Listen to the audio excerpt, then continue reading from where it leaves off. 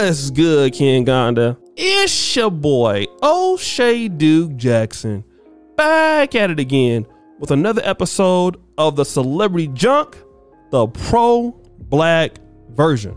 Guys, I haven't, you know, done one of these on this channel for a long time, right? Because we've been so busy, you know, doing a lot of video work, you know, a lot of in-person stuff with the podcast. Uh, I forgot about y'all, but I got um a particular inbox the other day on Facebook from a brother who brought me to the attention of KNK Squad, and I want to leave their channel.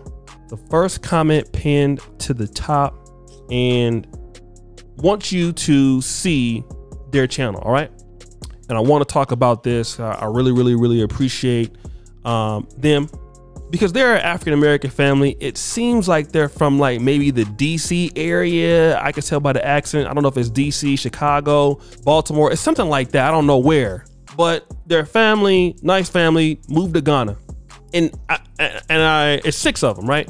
I came across this video called "I'm Ready to Go Back to America," and I'm gonna play a part of that video.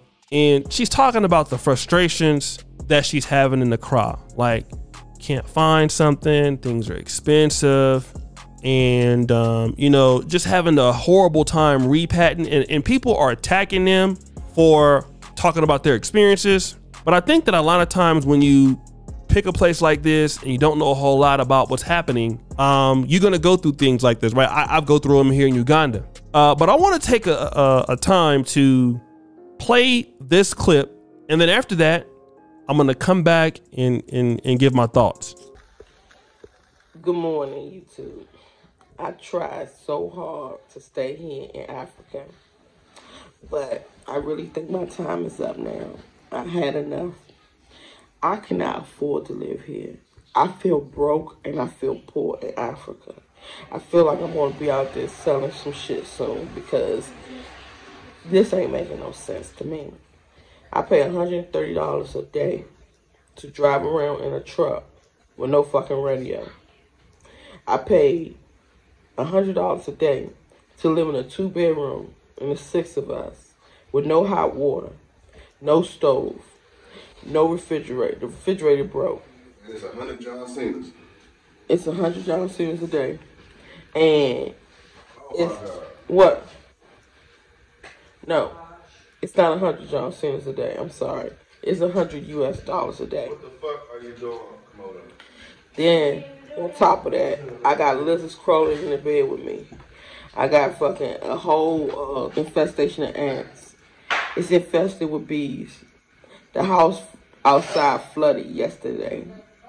Then on top of that, don't not to mention we have no hot water to wash our ass. They talking about some take a cattle, put it on the stove and warm the water up. First of fucking all, I live in America in a fucking mansion, and we don't have to fucking uh, put no water on the stove. We got steady hot water, steady electricity, and the only time our electricity get cut off is when we don't pay the bill.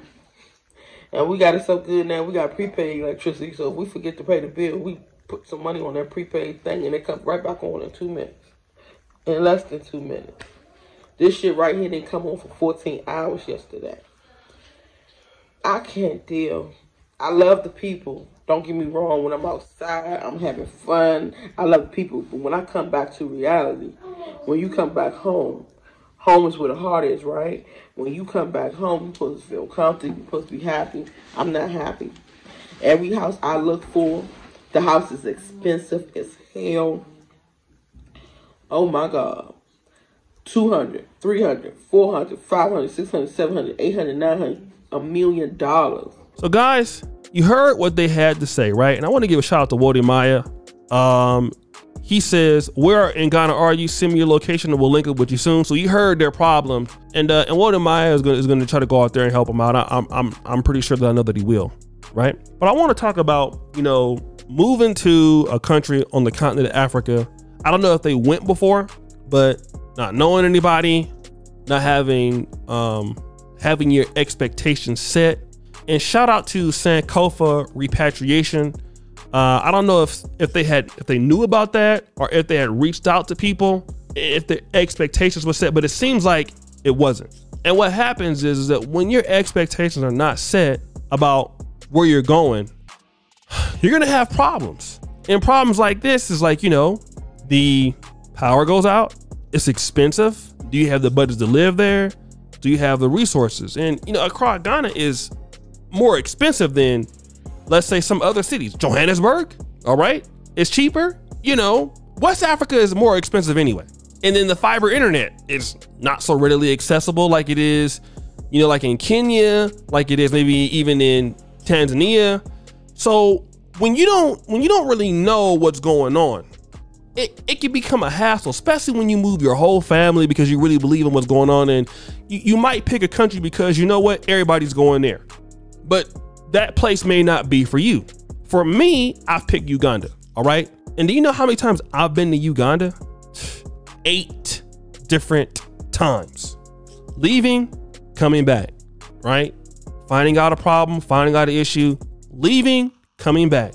You know, on the eighth time, I found a shipping company, UG Unlocked. On the eighth time, right?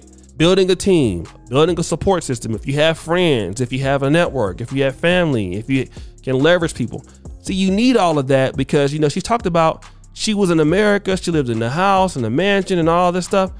It's not the same way when you come.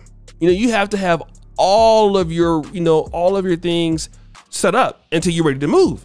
And if you're not ready to move, if you don't have these things set up, you're gonna you're gonna have problems. Now I think that um, you know, they're a really great family, in my opinion. I saw some of the other videos. You know, they're just talking about their experience and stuff like that. And um, and they're trying to, I believe they're trying to work it out and stay. You know what I'm saying? They're trying to work it out and stay. You know, and they weren't talking about, you know, talking down on the people or talking about they, you know, they didn't like the people. No, they, they, they were just talking about their experience. They actually like the people. So I want you guys to go out there and support them. You know, their African American family. Um, support them. Go check them out. Subscribe to them. Tell them that Kenganda sent you. And, you know, give them encouraging words. You know what I'm saying? Because a lot of our brothers and sisters out there that are trying to repat, they're going to find it hard. And I think that they'll be able to, um, you know, make a life for themselves out there. They'll be able to, uh, you know, do things they'll be able to get things straight out. I might I might try to reach out to them if we can get an interview with them. But I believe that what they're trying to do is they're just it's going through the growing pains.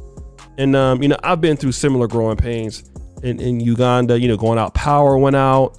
You know, sometimes I've, we've had power that goes out for 30 day, 30 hours, 15 hours. But you know what? Um, I will say this for anybody repatting and experiencing that, remember why you why you came. All right. The reason why you came if it's worth starting, it's worth finishing. You know what I'm saying? You going, you know, for me, when I first came to you, I didn't like it, you know. But you know what?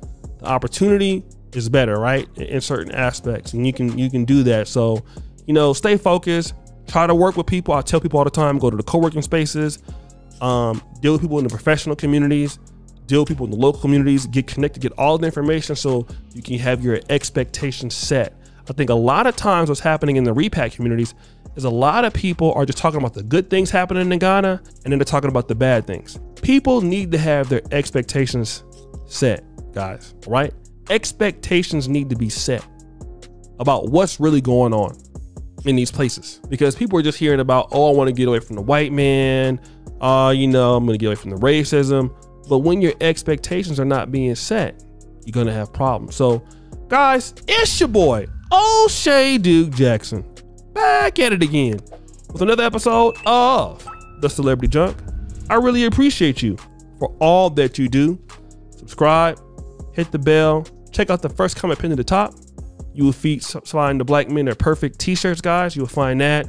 You will also find um not only that, the Patreon. Check out a whole bunch of stuff, guys. And as you know, the buffoonery always remains at an all-time high. I'm out.